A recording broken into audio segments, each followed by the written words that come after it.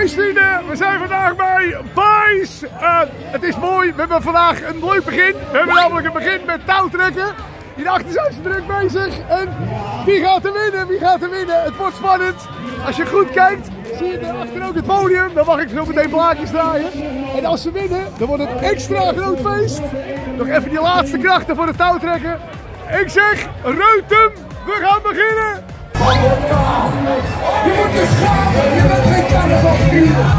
Arrendamento com o Messi, metendo em fone dele.